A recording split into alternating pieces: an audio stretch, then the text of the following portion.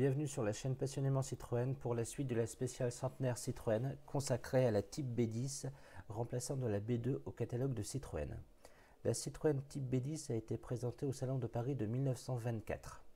Il s'agit d'une évolution de la B2 sortie elle en 1921 et que Citroën a dû modifier car la concurrence avait réagi entre-temps.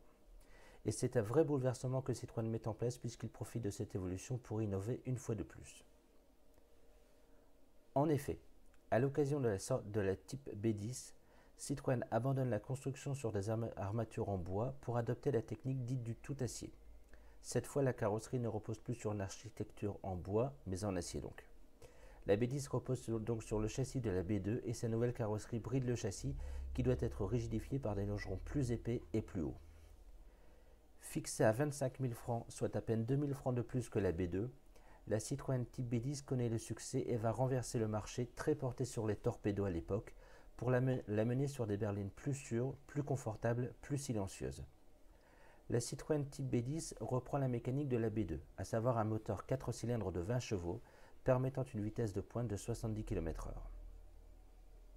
Sur cette version à 4 portes, la Type B10 se révèle nettement plus luxueuse et haut de gamme que les modèles précédemment. Les portes, dont l'ouverture est améliorée par rapport aux premières Citroën, sont habillées de, de bois et de tissu et possèdent de vastes vides-poches.